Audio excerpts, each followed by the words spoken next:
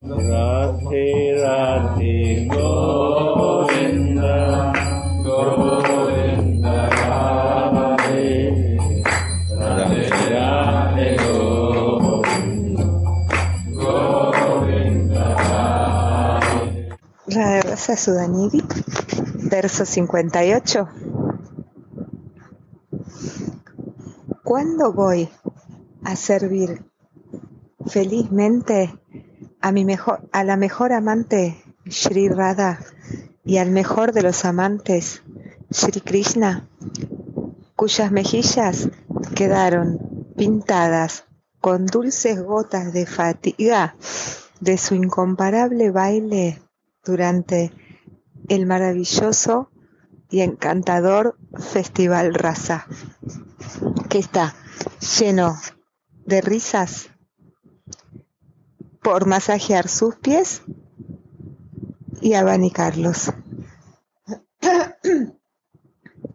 El título que Baba le puso a su comentario es El servicio de la Manchari en el baile rasa.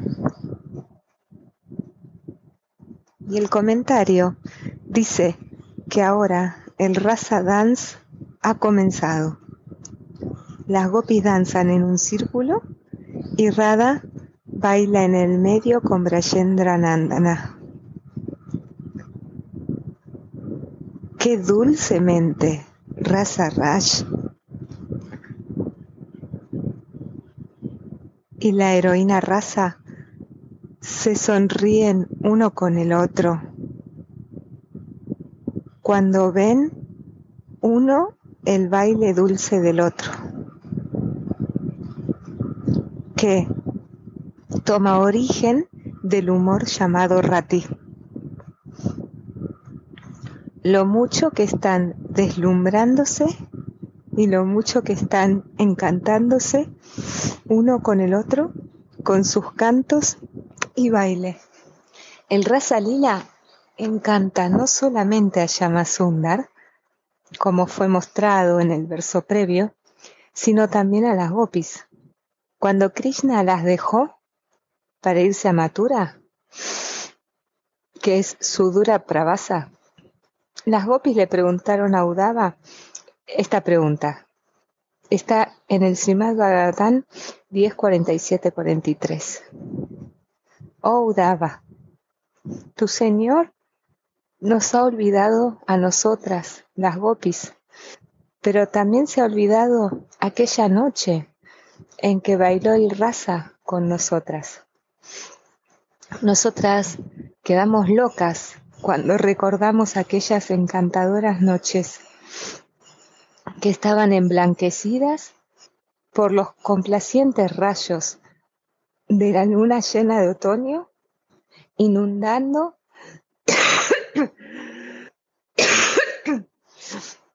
la superficie de la madre tierra. Todo el escenario natural de Brindaban nos sonreía con sus flores de jazmín y flores kunda blancas. Si bien es llamado Krishna o en, de color negro, el Yamuna se vuelve tan blanco como la leche debido a las flores de loto blancas florecientes y a, las, y a los lirios flotando en su superficie. Y la arena en las orillas quedaba tan suave, blanca y fragante como suelo de alcanfor. Encima de todo, los devas han sembrado muchas flores blancas en la arena del baile raza. Oh, el mejor de los yadus. El bailar de las gopis hizo que sus cinturones de campanillas, sus pulseras en sus muñecas y las tobilleras en sus pies sonaran dulcemente, sonando aún más bellos que los distintos instrumentos musicales que ellos tocaban. ¿Es que tu Señor recuerda ese tan dichoso baile raza ahora? En el texto se usa la palabra vilas, que significa que los gestos de las caras y de los ojos del héroe y la heroína son extra especiales. Eso está mencionado en el Ushwala Ninamani. Y en el Srimad Bhagavata 1033, 8, Sri Shukamuni dibujó perfectamente la siguiente imagen hermosa del Maharasa.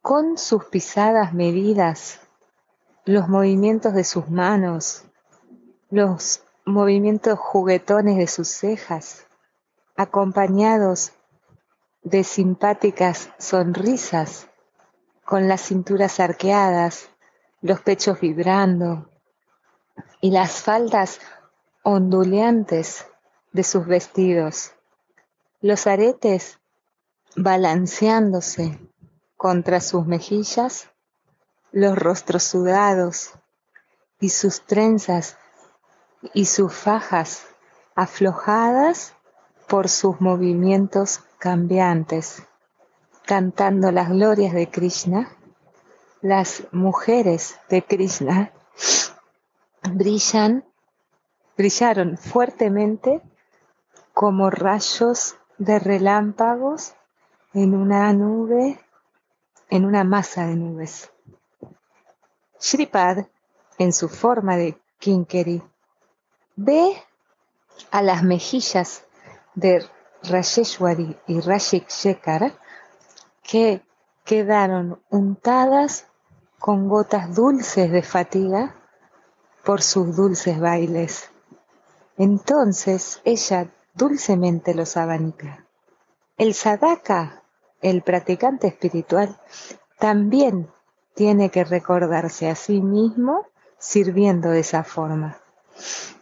Pero ese recuerdo no puede suceder mientras uno está en conciencia externa o mundana. Shripad describe el dulce Rasalila de la siguiente manera en su poema Shangita Madhav.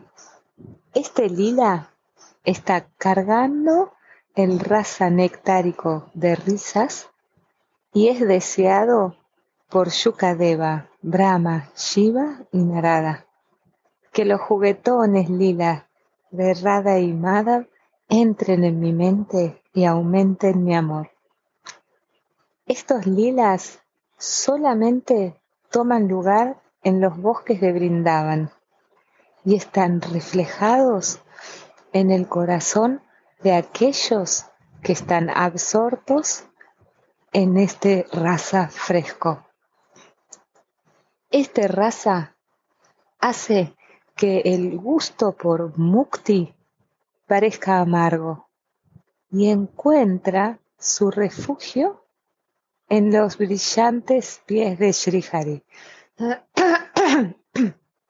Las transformaciones amorosas aumentan en cada momento en este océano lleno de la quinta esencia del rasa nectárico. Estos lilas están más allá de los tres modos de la naturaleza material y son cantados por los grandes sabios que escupen incluso en la posición del señor Brahma.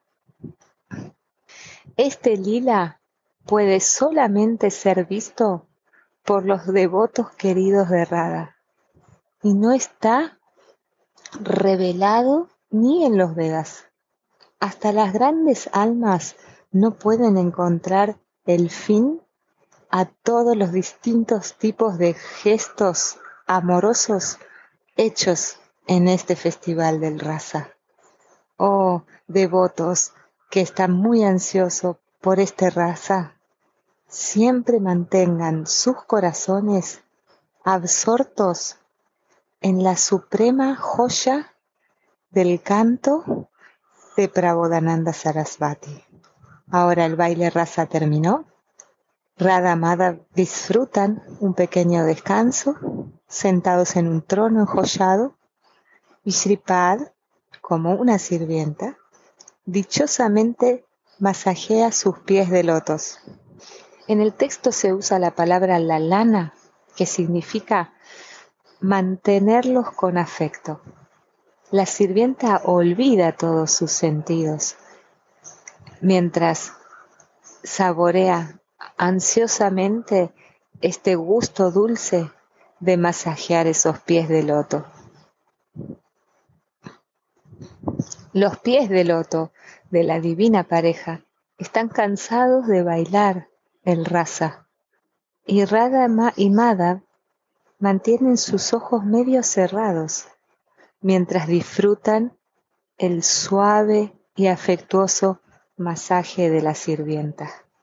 No hay límite para el éxtasis de la sirvienta entonces.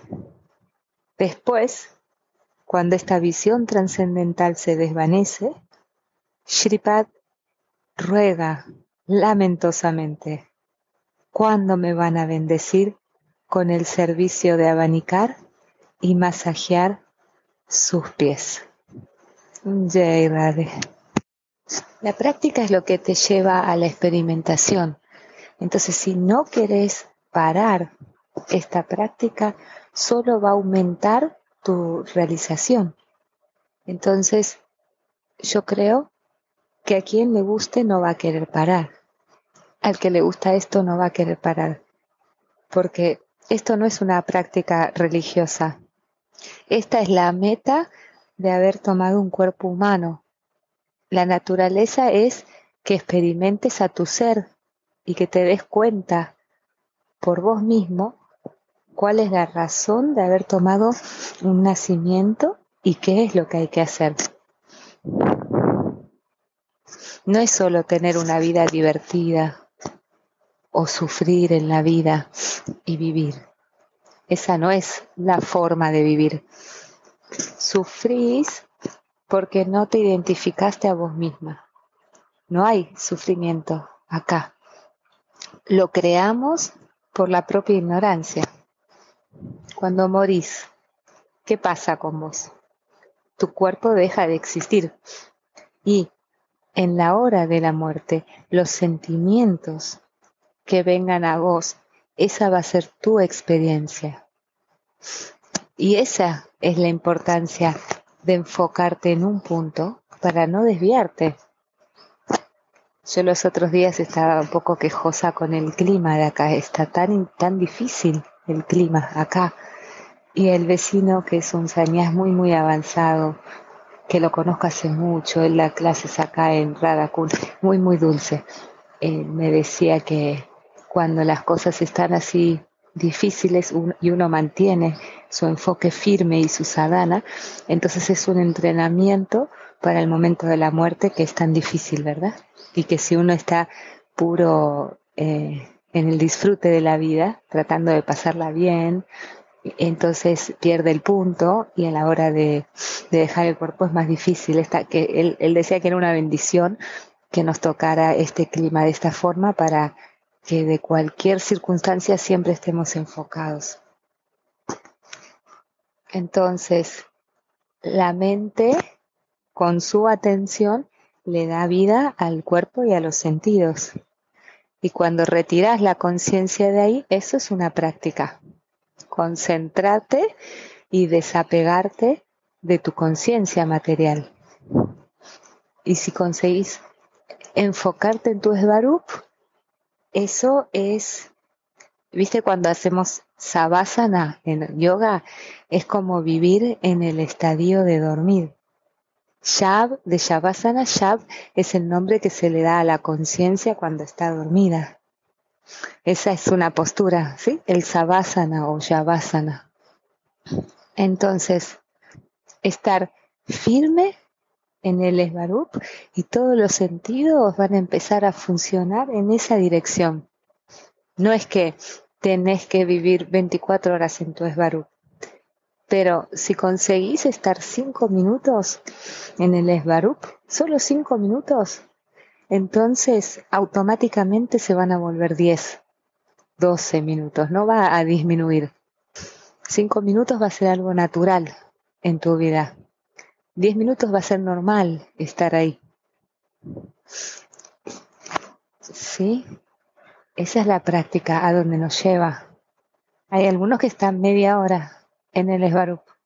Y esa media hora, todos tus sentidos quedan ofrecidos. Todo tu servicio está en un punto. Y esa es la vida espiritual. Y tener esta experiencia sin, sin vivenciarlo, no lo entendemos, porque no es una filosofía, es una experimentación práctica. La filosofía la puede entender la mente, pero la experimentación la tenés que sentir con tus sentidos, con tu cuerpo y con tu mente, porque esos sentidos van a sentir porque la mente está haciendo. Entonces esos sentidos van a saborear eso. Chatreji, se va a volver el paraguas. Vas a estar cubierto por tu conciencia espiritual. Como cuando usamos algo para las deidades. Eso es algo material que se vuelve divino, ¿verdad? Queda como prayaran. Entonces, el altar se vuelve divino, la ropa se vuelve divina, los ornamentos se vuelven divinos. Entonces, cuando meditas y tenés el toque de ellos, eso hace divino a este cuerpo y a estos sentidos materiales, en forma natural y fácil. Todos estos sentidos van a seguir funcionando normal, no va a haber ninguna anormalidad como cuando Prabhupada habla en, su conclusión del Bhagavad Gita, que habla de volverse normales. ¿Se acuerdan que lo hablamos? La subnormalidad se va y quedas normal. Vas a hacer todo, el ojo va a mirar, el oído va a escuchar, la boca va a comer. Todos tus sentidos van a actuar, pero en un punto. Antes hacía todo para mi disfrute y ahora hago todo para el disfrute de ellos. Nitya Siddha Krishna Prem Sadakabutem. Eso es que no hay ninguna regla o regulación prescripta, que la única regulación o regla es Sudha Chita, Chita Briti, que la mente y la inteligencia, ¿se acuerdan que lo hablamos? Es el Chita Briti. Y Prabhupada lo escribe en el Bhagavad Gita 1314 cuando la mente está de acuerdo con la inteligencia, entonces mi briti empieza a moverte, a moverse en tu dirección. Hago acuerdos con mis proyectos materiales, ¿verdad? En eso estoy de acuerdo y pongo mi mente y mi inteligencia en todos mis proyectos. Pero no hacia esto. Ese es el tema. Entonces, lo que hablamos siempre, de un punto. Y a veces la servís tanto a Rada que ella te ofrece la posición de amiga y una sirvienta nunca acepta. Porque sí, claro, la posición aumenta de sirvienta amiga y como amiga te vuelves igual que la Lita. Y eso te ofrece Rádica, que podés no servirla solo a ella, sino que también lo podés servir a Krishna. Entonces la posición de la sirvienta está en un punto y la de las amigas está en más de un punto. ¿Sí? Y nosotros seguimos el ejemplo de Raghunatha Goswami. Y cuando vimos el pasatiempo que Radhika se lo ofrece eh, a Tulsi, Tulsi le dice, me pongo esta ofrenda sobre mi cabeza, pero yo siempre te quiero servir. El sirviente solo piensa en servirla y el amigo piensa en otros amigos también. Tienen muchos puntos. Y hay muchos que les gusta esa opción. Pero nosotros seguimos las huellas de Raunat. Y esa es la forma de alcanzar el servicio. La sadhana es la práctica. Y lo que hay que practicar es el servicio. Entonces tengo que enfocar mi sadhana en un punto el logro se consigue cuando estoy en un punto. Y si tenés muchos puntos, la perfección no te llega. ¿Viste cuando se dice que sabes de todo pero sos maestro de nada? Bati, Bati, basta. Sabes muchas cosas, pero no entendés cómo moverte a tu ser. Entonces, tenés que pensar de vos mismo como un seguidor de Rupa y Raunat. ¿Y por qué? Porque Rupa y Raunat siguen a Chaitanya Mahaprabhu. Por eso. Entonces yo lo que quiero es seguir a ese amor divino de ellos.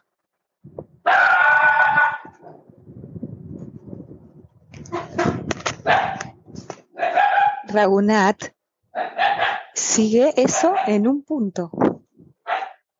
Y solo podemos aprender de un sirviente o de un seguidor de cómo lo está sirviendo. Un sirviente te puede enseñar, pero el amigo no te va a enseñar. Entonces, lo importante es la identificación. ¿Quién soy? Y escuchando y cantando las palabras de Raunat, se te despierta esa identificación como seguidor de Rupa y Raunat. Y lo importante es la identificación.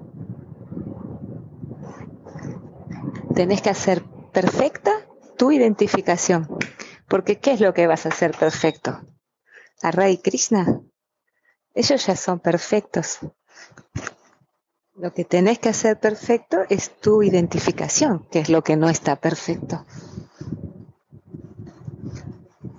A veces te identificas con tu cuerpo físico y a veces te identificas con tu cuerpo espiritual. Y eso es lo que está sucediendo casi todo el tiempo. Quiero controlar la identificación de mi cuerpo espiritual, pero salto a mi cuerpo material. Y hasta que la identificación no esté fija, firme, no te puedes enfocar. Entonces, en la vida espiritual, lo importante es tu identificación. Prabhupada decía, por la práctica devocional, en la práctica devocional hay tres relaciones, ¿verdad? Los amigos, los padres y la conyugal. Esas son las formas de enfocarte, de fijar tu identificación. Porque la identificación te va a venir con la práctica devocional. Y la devoción solo sucede en la relación. No podés sentir devoción sin relación. Entonces lo que tenés que identificar, cómo te vas a identificar, eso va a ser cuando tu alma tenga la relación. La relación con el cuerpo no funciona. Tratamos con el cuerpo, pero la verdadera relación es la relación de alma a superalma. Esa es la verdadera identificación. Pero mi identificación no está firme en la práctica devocional. Entonces, mi práctica devocional no está sucediendo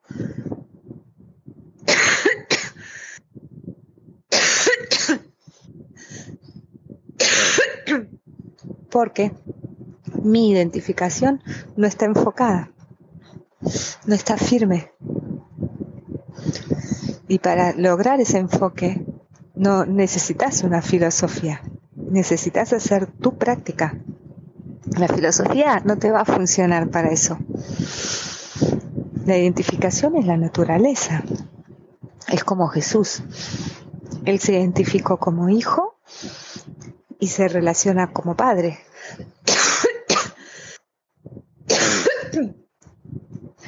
Sin tu identificación cómo te relacionas.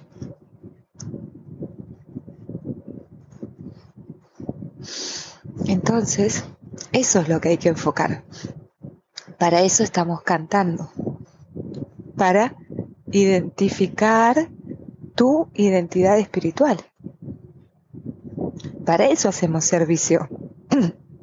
Para dejar firme, fija, mi identificación en la relación.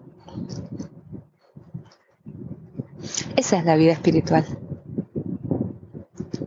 Si hago muchas prácticas devocionales y mi identificación no está fija, no va a pasar nada. Fíjate. Entonces, si lo que querés es desarrollar tu vida espiritual, tenés que desarrollar la relación con tu identidad espiritual, con tu identificación. Tenés que aceptar sin saber lo que sos. Soy tu hija, soy tu madre, soy tu amante, pero te tenés que comportar como una madre, te tenés que comportar como un amante, te tenés que comportar como, un amigo. Y después es identificación. Con la identificación firme, vas al templo y tu comportamiento debe ser de esa manera. Y si te encontrás con alguien y vos estás enfocado, entonces eso va a hacer que te comportes de esa manera. Porque tu amada está viviendo en el corazón de todos. Entonces, la identificación va a estar firme en toda circunstancia. Esa es la prueba. Que en todo lugar estés viviendo en la identidad. Esa es la experimentación práctica en cada momento en que te encontrás con otros, no solo en el templo. En cada momento de tu vida tenés que estar identificado a vos mismo, a tu ser. Esa es el Siddhi, la perfección de la identificación. Yo antes me identificaba con mi cuerpo físico y eso hace que este cuerpo físico me siga atrapando para que me identifique ahí. Y ese es el conflicto entre mi cuerpo material y mi cuerpo espiritual. Lo que haces en la vida, eso se convierte en tu naturaleza. Entonces, lo que tengo que cambiar es mi naturaleza a una naturaleza divina.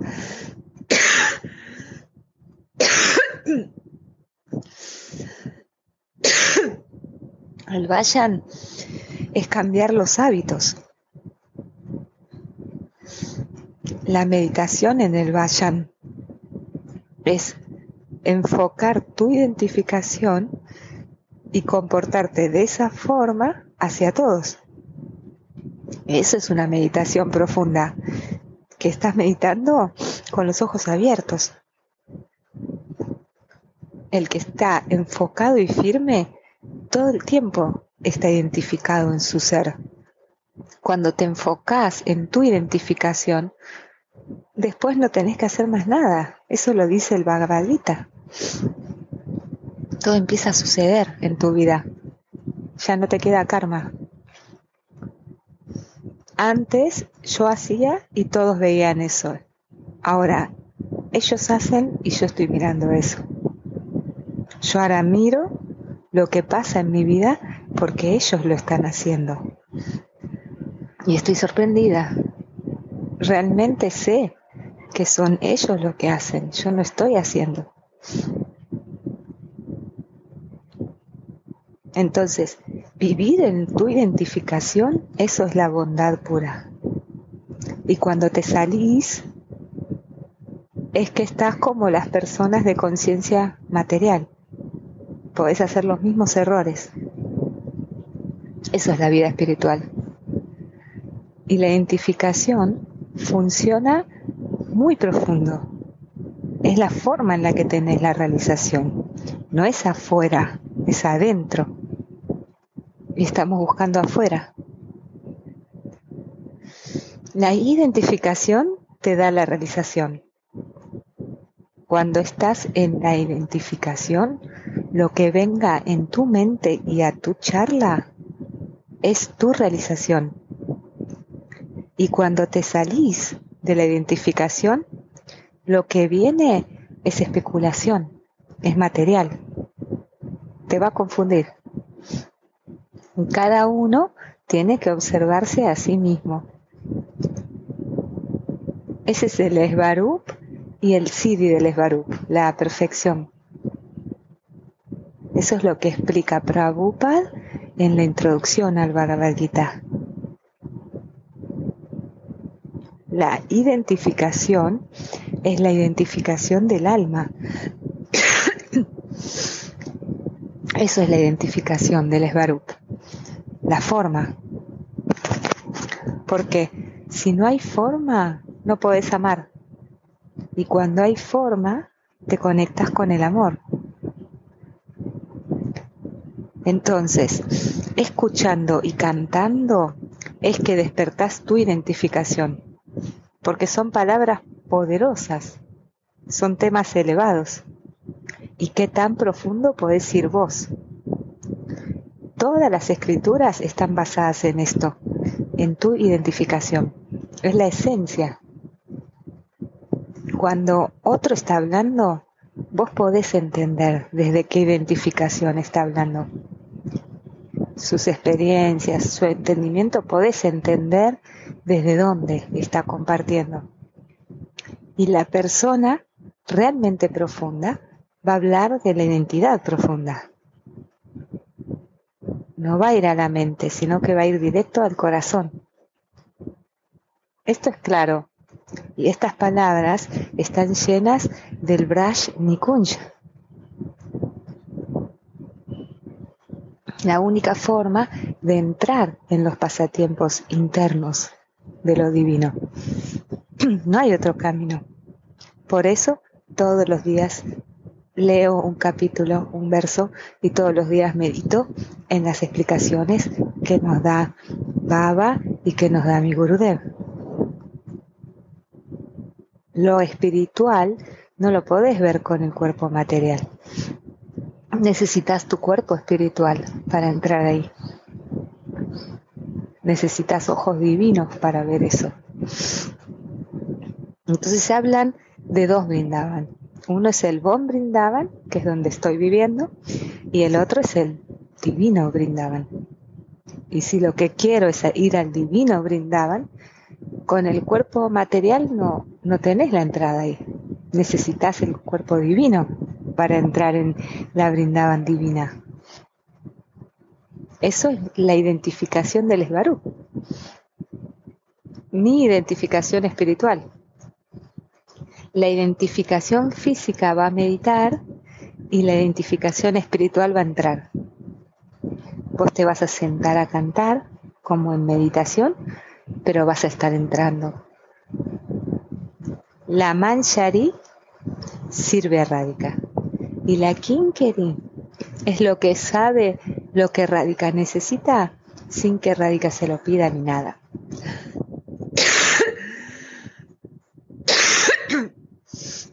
Esa es la diferencia.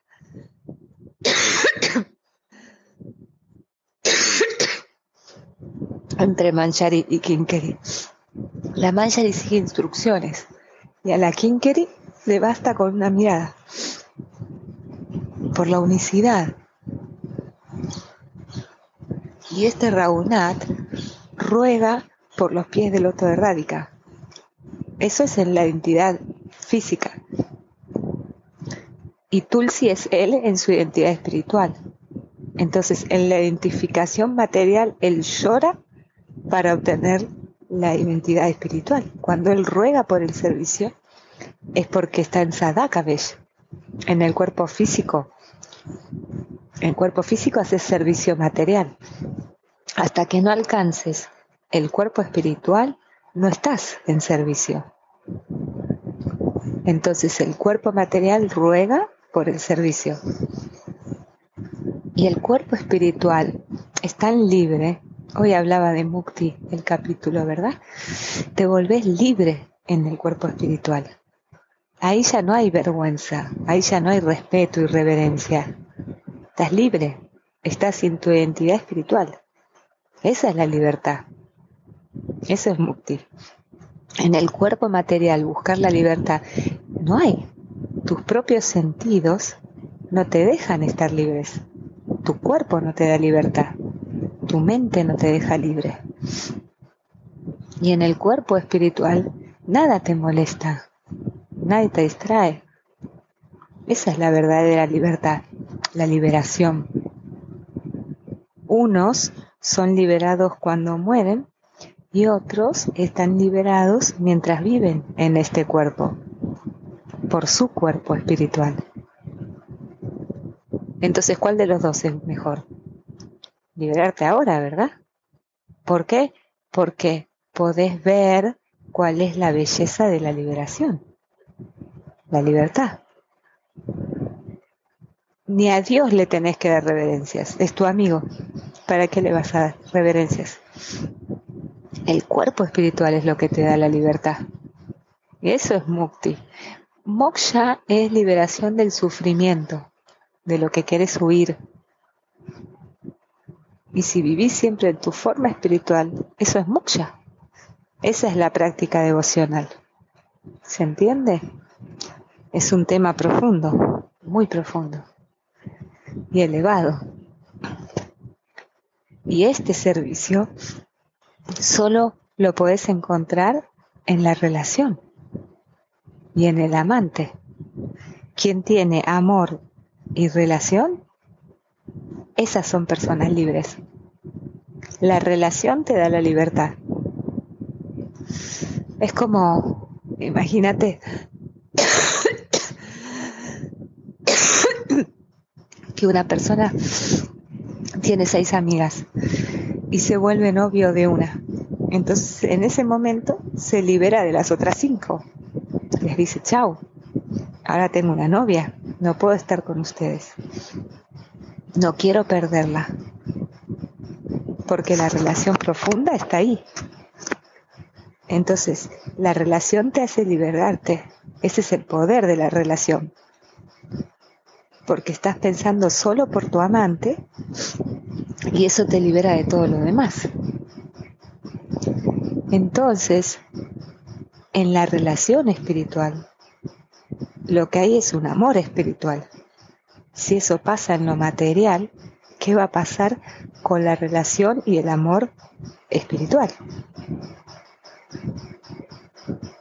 Estamos en el Kaili Yuga y estamos en un cuerpo material. Eso nos lleva a hacer errores. Entonces, solo el amor te puede cambiar tu naturaleza. Ese deseo te va a traer al cuerpo espiritual y el cuerpo espiritual te va a liberar de estas cosas.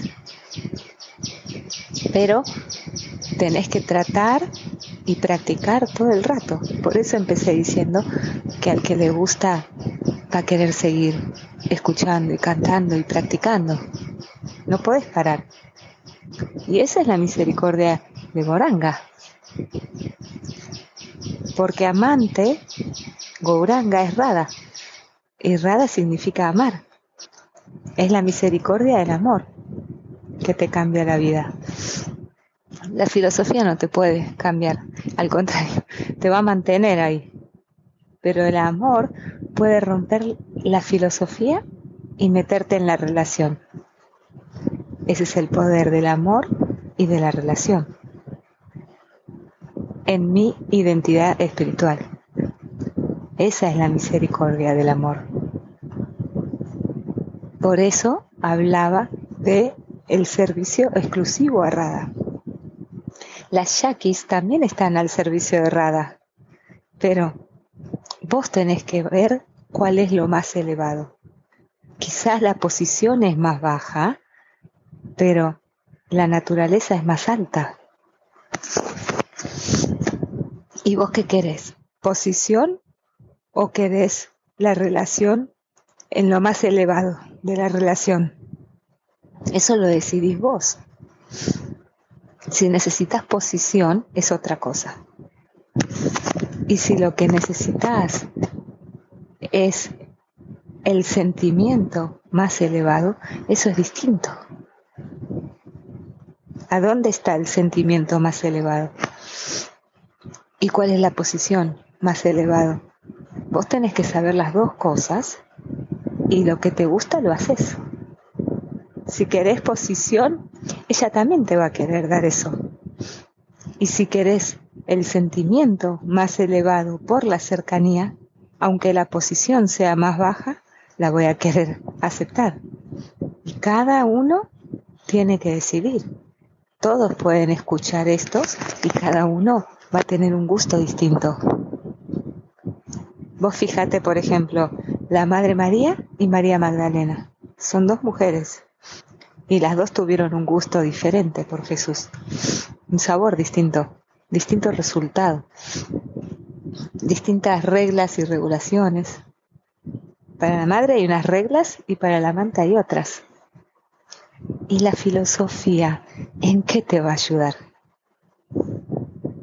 Si el camino son los sentimientos, eso va a depender de la identificación de tu relación. Entonces, dentro de las amigas también están, cada una tiene distinto humor. Algunas son muy cercanas, otras son enemigas. Eso es lo que pasa normalmente. ¿Y qué es lo más querido? En una relación conyugal no hay ni dudas ni coberturas. Y en, una, en un amor maternal es una posición segunda. El amor parental es una segunda posición. Y vos elegís conyugal o parental. Conyugal es más alto porque no hay cobertura. Pero una madre y un hijo sí tienen cobertura. La mamá le da el pecho al bebé pero cuando es un hombre grande, de bigote, ya no le muestra el pecho a la mamá, al hijo. Ni el hijo le va a tocar con la lengua al pecho. Eso es a raza. Y el Maduria raza es otra raza. Son distintos estadios del raza. Y el amigo está todavía más afuera de esto, más externo. Y dentro de lo que es el amor conyugal, vos tenés que pensar si vos querés hacer o si querés sentir. Hay dos cosas. Una es que quieras ir por vos misma. Mi identidad espiritual quiere ir al amor conyugal con Krishna, porque soy femenina, en, en mi cuerpo espiritual. y la otra es que quiero sentir el amor más elevado ese amor como le da Rada. Eso quiero ver, sentir. Entonces, ¿cuál es mi deseo? Eso tiene que ser en un punto. ¿Y por qué Rada? Porque ella es Mariana Mahabab. O sea, tiene el amor del que puedo aprender. Si me cae solo una gota. Como por ejemplo, vos tenés un amante y lo ves con otra chica, lo vas a cortar, ¿verdad? A esa relación. Le decís, desde hoy se acabó. Así es nuestro amor. Pero el amor de ella, ella misma se expande en las yaquis. Porque quizá él, mi amante, alguna vez necesite un sabor diferente. Y mis amigas lo van a satisfacer a mi amante. Eso es el amor desinteresado, que lo tiene Rada. Ella empuja a la Yaki para que vaya a servir a Krishna de esa forma. Y lo hace para hacer feliz a Krishna, a su amante. Y nosotros no podemos ni imaginar hacer eso. Y ella está feliz de saber eso también, que Krishna está feliz por encontrarse con una de ellas. Y las Yakis están para complacer a Krishna. Pero cuando él va con Radhika, veíamos el otro día, él se desmaya. él queda inconsciente. Entonces ella manda una manchari para que lo vuelva a la conciencia, para que lo levante otra vez. Ese es el servicio de la manchari. Hasta en ese momento la manchari está ahí para servir puede cantar para despertarlo y puede hacer otras cosas. Muchas cosas pueden hacer para despertarlo. ¿Se entiende? Rada no está celosa. Cuando ella se hace la enojada es solo que para aumentar el amor de él. Ella muestra ese humor a veces solo que para darle más sabor, más gusto a Krishna. Por ejemplo, que vos comiste un dulce y ahora querés tomar un vaso de Coca-Cola. Se siente horrible, ¿no? Pero te pones un poquito de sal en la boca, te corta ese dulce y puedes disfrutar de la coca. Bueno, es lo mismo. Es darle muchos sabores para que pueda disfrutar de más cosas. Y de estos temas se habla en Brindavan y raramente afuera. Esta es la tierra de Rádica. Acá es seco porque no es un lugar de Krishna. Si vas a Suiza, vas a ver todo tan lindo, tan verde, toda Europa, toda América. Todo es la tierra de Krishna la conciencia de Dios. Todo pasa en nombre de Dios. Pero acá, en este pedazo de tierra, funciona en el nombre del amor. Y los amantes no tienen tiempos de ocuparse de las cosas externas, ni para limpiar el cuarto o para estirar la cama, no hay tiempo. No quieren usar el tiempo para esas cosas. Esto es brindaban. Acá viajamos para adentro para descubrir el amor y no usamos el tiempo para lo externo. Por eso no se ve tan bonita como en Suiza, donde la conciencia es otra. Y cuando habla de estas cosas Gurudev, él se ríe mucho, porque esta es la tierra de Rádica, y la tierra de Rádica solo tiene amor, y dos amantes no tienen tiempo de ocuparse de lo externo. En todo el universo está Krishna, pero donde está Radhika es en Brindavan. Esta es la casa de ellos. Cuando tus acciones estén con amor, eso es devoción. La acción en amor. No hay otra forma de ser devoto. Y cuando estás en ese estado, tus ojos, tus movimientos de tus labios, todas tus actividades en amor, eso es devoción. El verdadero devoto se mueve así. Ojos con lágrimas, piel de gallina, todo es así. Todo empieza a funcionar de esa manera. Y Krishna es muy travieso, eso ya lo sabemos. Si Krishna te agarra, no te deja vos mete un dedo en la manteca, cuando sacas el dedo tenés un poco de manteca, ¿sí? Pero si agarras con una cuchara, vas a agarrar mucho más. Y si agarras a Krishna y lo metes en manteca, la vas a sacar toda a la manteca.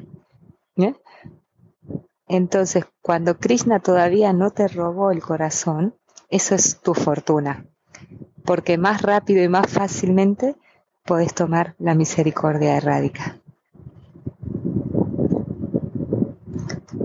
Rada va a quedar complacida con tu comportamiento. Y lo que ella te da es misericordia incondicional. No importa si lo que haces lo haces consciente o inconscientemente. Por ejemplo, capaz que viniste hasta brindaban o hasta Radakun sin saber lo que hacías. Pero ella queda complacida de que viniste, porque la misericordia radica es incondicional. No le importa si lo hiciste a conciencia o no. Solo le importa que viniste. Entonces ya sabemos a dónde hay que ir. A nuestra es Baruch a nuestra identidad espiritual. Y ahora lo que nos falta es saber cómo ir a nuestra identidad espiritual. ¿Y cómo? Cuando mi deseo sea solo uno. Los pies del loto de Swamini. Y los pies del loto quiere decir que todo el tiempo voy a practicar estar en el amor la naturaleza que tiene Swamini, esa naturaleza la voy a descubrir y la voy a practicar en mi vida. Eso es seguir. ¿Seguir qué? Seguir quiere decir que voy a seguir la misma naturaleza que tiene mi Swamini. Eso es seguir. ¿Cómo seguís a alguien? Conociendo el comportamiento y la naturaleza, sigo ese comportamiento y esa naturaleza. Eso es seguir. Y si estoy haciendo afuera de tu comportamiento y de tu naturaleza, entonces ¿cómo te estoy siguiendo? ¿Solo tener una foto de ella es seguir? Ella hace solo en un punto por Krishna. Y yo hago un montón de puntos en mi vida, un montón de proyectos. Entonces, ¿estoy siguiendo? Más bien, estoy haciendo lo que hace Krishna. No te estoy siguiendo a vos. Krishna tiene un montón de puntos. Yo tengo un montón de puntos.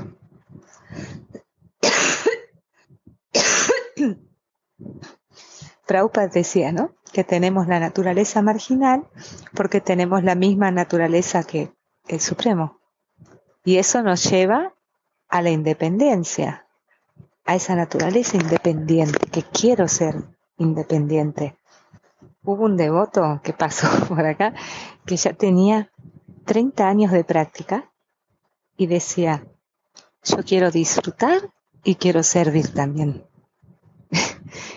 y Gurudev le decía, disfrutar es la naturaleza de Krishna y servir es la naturaleza de Radhika.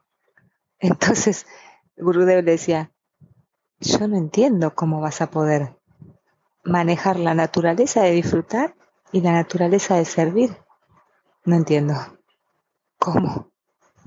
A ver, anda y pensá mejor lo que estás diciendo. Porque nadie se puede volver Mahaprabhu. Nadie se puede volver Krishna. Pero seguir en un punto, no en muchos puntos. Si querés servicio, entonces anda al servicio. Toma el humor del servicio. Esa naturaleza la tenés que practicar para adoptarla. Y después podemos hablar de estar siguiendo. Anuga. En el servicio, hablar no funciona. Funciona en hacer. En la independencia de Krishna, ahí sí te va a servir el hablar. Porque Él es independiente. Y vos vas a querer ser independiente, como un devoto de Krishna. Y Él te va a aceptar así. Porque Krishna también está dentro tuyo. Con Krishna va a funcionar, pero con Swamini va a funcionar cuando seguís todo el comportamiento de ella. Y entonces, de a poquito, ella va a decir, oh, esta es verdaderamente mi sirvienta. Nunca se desvía de su servicio. Y cuando te desvías, date a vos misma una cachetada y pregúntate, ¿por qué te está pasando? Yo me tengo que enfocar a mí misma y te tengo que seguir a vos, porque los errores van a suceder.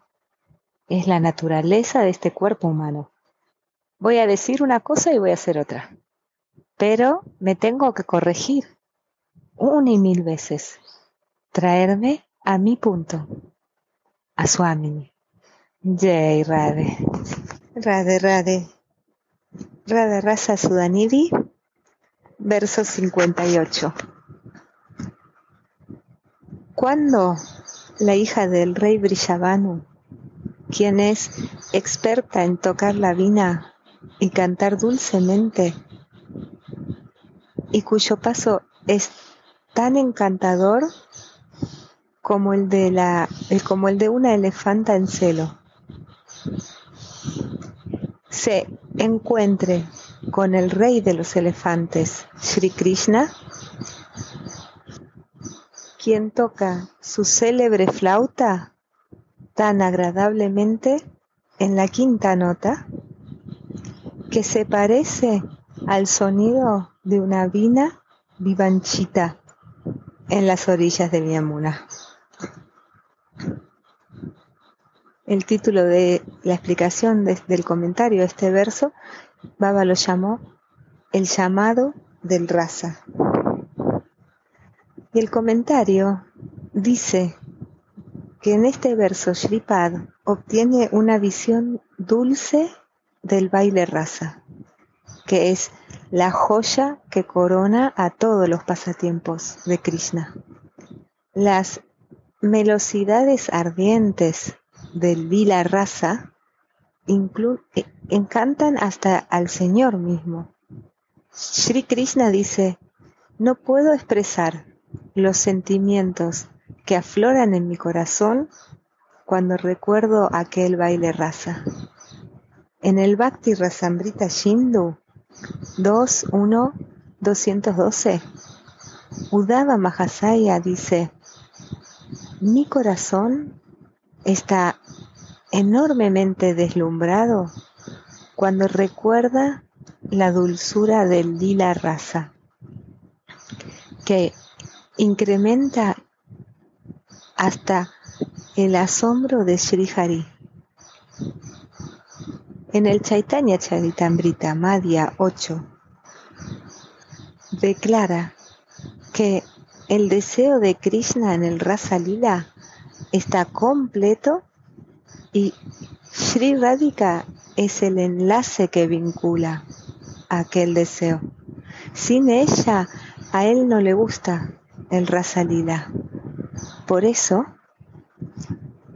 Rasa Rashika Krishna, quien disfruta del baile rasa, toca su flauta con una nueva experiencia para llamar a Rajeshwari, que es Radha, la reina del baile rasa.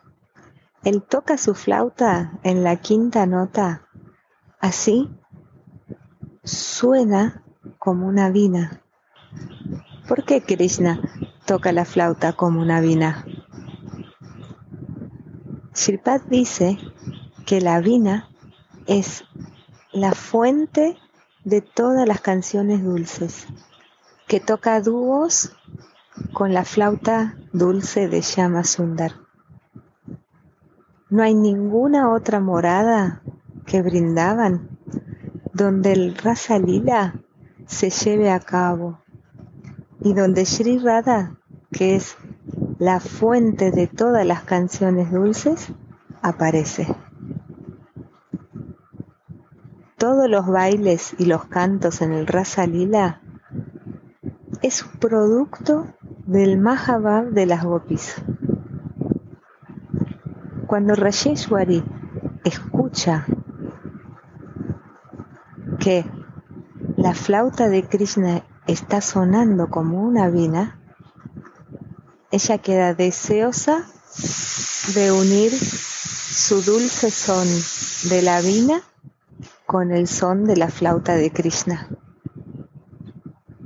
Muy ansiosamente entonces Rajeshwari se encuentra a quien está tocando la flauta Rasvihari Krishna, quien es más querido para ella que millones de vidas. Se encuentra en la orilla del Yamuna lo dulce que es su encuentro. Qué complacidos están sus ojos cuando se ven mutuamente sus benditos rostros de luna. Eso los hace sentir satisfechos como un pájaro cataca bebiendo de agua de lluvia, como un pájaro chacora bebiendo del néctar lunar. Shyam brilla como una flor atasi y radica como una flor champaca dorada.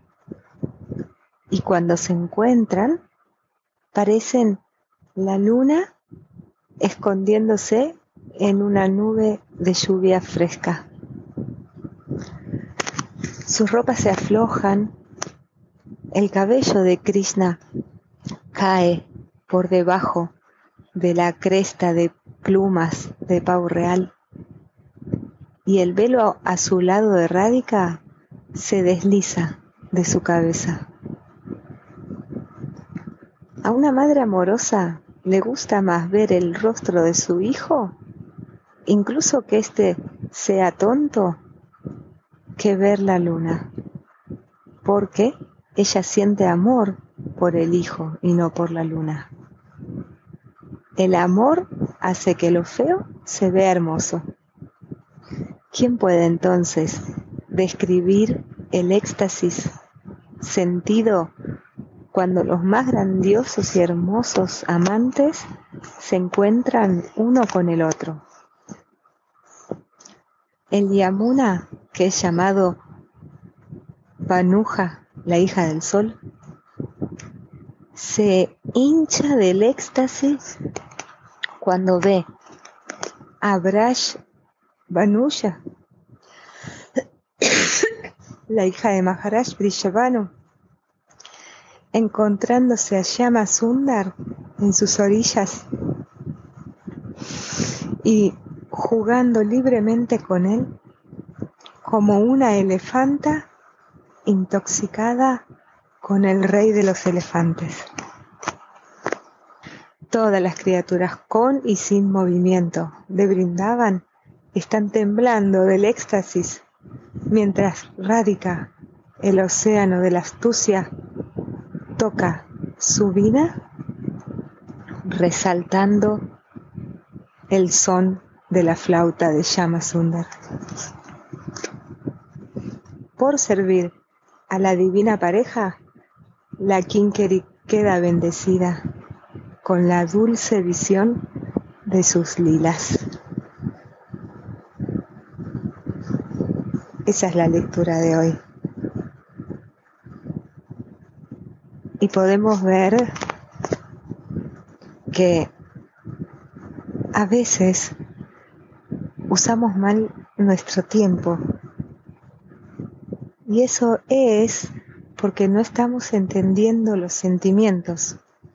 En una parte de este capítulo menciona Udava, ¿verdad? Y Udava también entendió a Krishna. Y cuando volvió de Brindavan, empezó a pelear con Krishna. Le decía, vos sos una persona tan dura, no tenés sentimientos por las gopis. Le empezó a pelear. Tu mamá está llorando, tus amigos están llorando, tus amantes están llorando. ¿Cómo que estás acá? Pero Krishna nunca salió de Brindavan. Ese es Narayan Krishna. Pero este Udava quedó enojado con Krishna.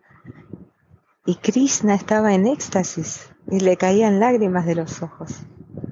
No sabía cómo consolar a su amigo, cómo explicarle. Te envié para que les enseñes y hoy volviste distinto. Ahora vos me estás enseñando a mí. Y este es un tema muy profundo. Y sin Swamini no podés saborear estos versos. Como siempre menciona Gurudev, que leyó escrito en aquella iglesia, primero fe, después esperanza, porque cuando hay fe la esperanza está ahí, y cuando está la esperanza hay amor, y el amor te trae al Señor. Eso es prema. Radica que te trae a Krishna para que entiendas y veas. Necesitamos la visión, necesitamos los ojos del amor para ver. Sin amor, ¿cómo vas a conocer a Dios? Hasta en la Biblia está escrito que no podés ver a Dios cara a cara. Pero si tenés amor, podés ver en persona. Jesús, que siempre doy el ejemplo, Gurudev da el ejemplo de Jesús. Él no estaba hablando con su padre. Sí, porque que sea hijo quiere decir que habla con su padre. Y esa es la identidad espiritual que él tiene. Entonces habla con su padre y eso es personal, no es impersonal, no es una devoción impersonal. La devoción siempre es personal. Y venimos a Brindavan para ir profundo en el Radha Dasyam, en el servicio a Radha, y poder entender todo esto que Gurudev nos comparte. Vas a poder entender hasta a Jesús, la misericordia de Él, la emoción. Lo que hay que entender es el amor, hay que entender a Rádica, hay que entender Prema. El imperio de Dios es limitado y el imperio del amor es ilimitado. El imperio del amor es más grande que el imperio de Dios. El imperio de Rádica es más grande. Fíjate Varshana y Nandagram. Nandagram es el imperio del rey.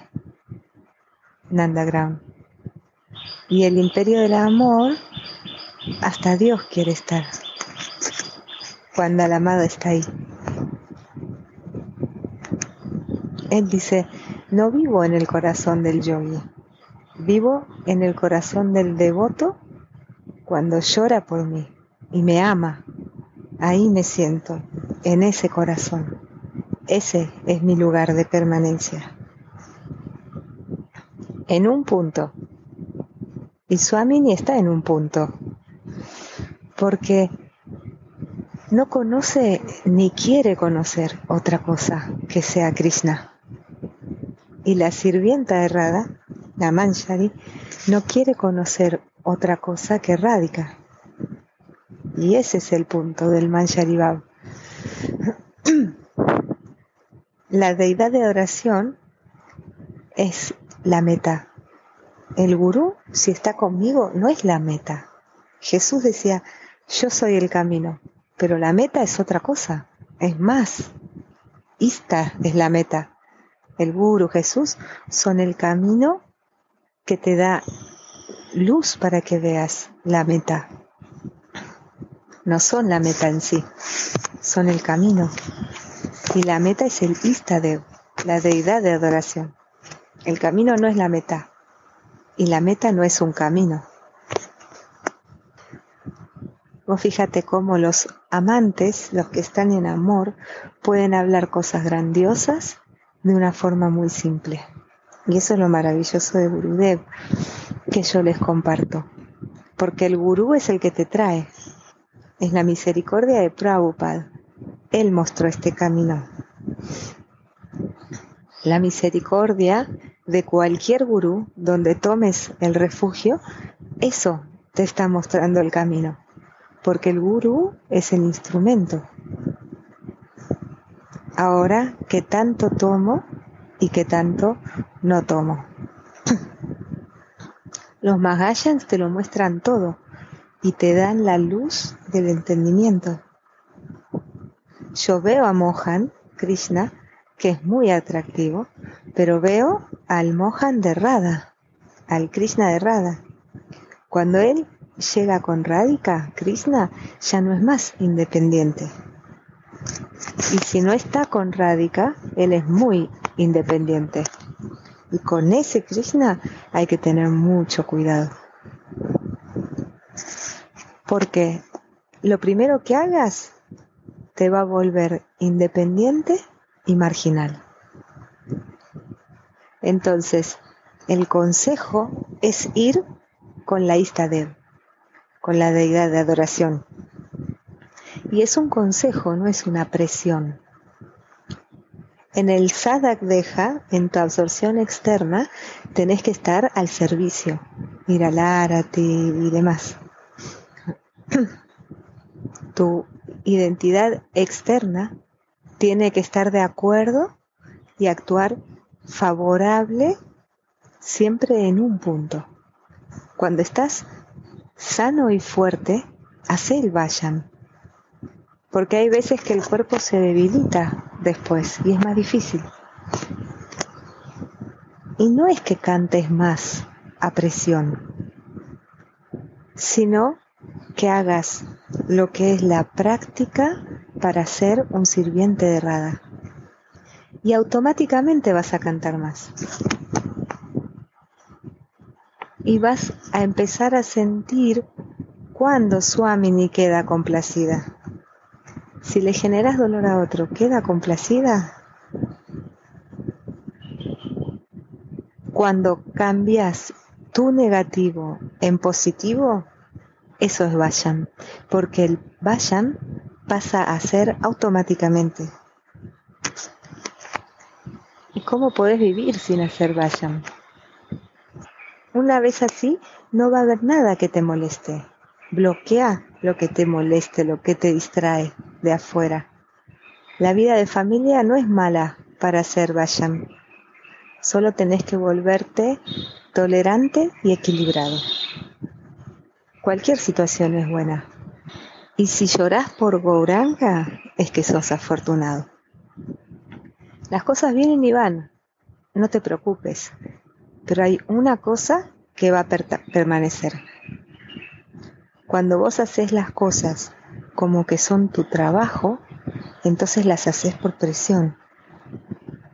Pero cuando haces porque decís yo quiero hacerla, eso se vuelve amor. Amor en acción. Y eso que querés hacer, que sea que querés estar con ellos, que te gusta hacer eso, que no podés vivir sin hacerlo. Eso es por el amor. Yo les estoy grabando todos los días un capítulo, ¿verdad? Y no lo hago por presión, nadie me lo obligó. Pero si un día no hago mi lectura, yo no consigo estar en paz. Me falta, me parece un día perdido. Ya se los grabe a ustedes o no. Todos los días necesito hacer, enfocarme con mis actividades. Si no, no consigo estar. Y lo que tengo, lo tengo que distribuir. Todo es la misericordia errada. Ella es la que hace. ¿Qué es lo que yo estoy haciendo? Ella es la que lo hace todo y nos da. Esa es su misericordia.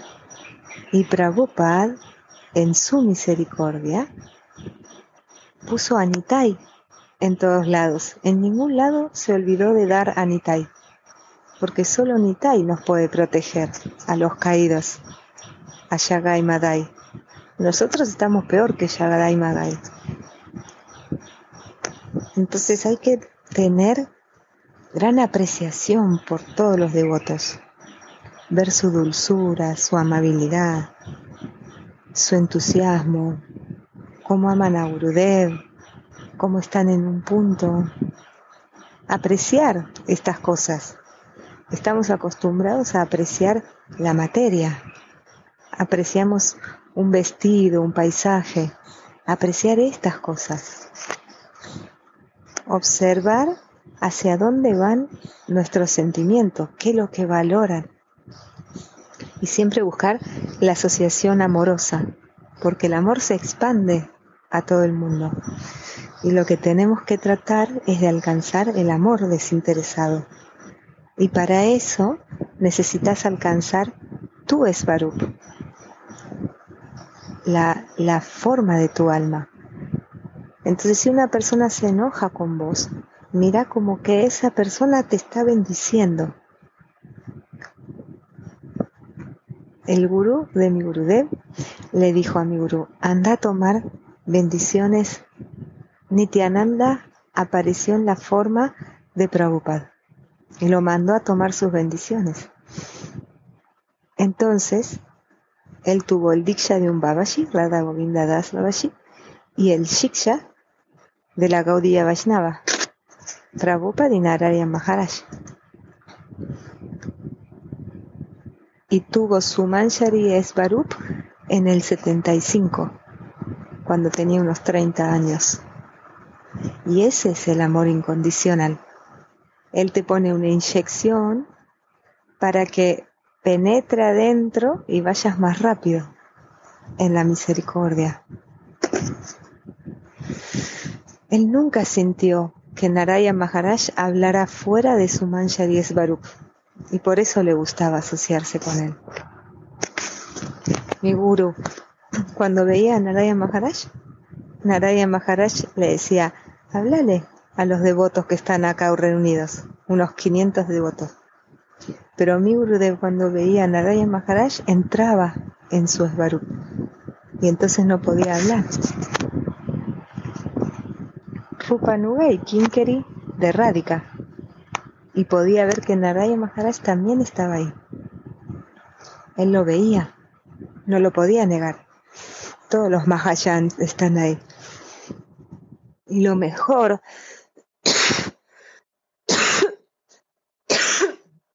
del maestro espiritual es que está listo a ayudarte en este proyecto de volverte una sirvienta errada. Él ve la fortuna del alma que llega ahí. Y si no estás viendo a tu guru como un sirviente de Radha, entonces el servicio que le hagas a él va a ser Vaidhi Bhakti. Radhe Radhe Govinda. Govinda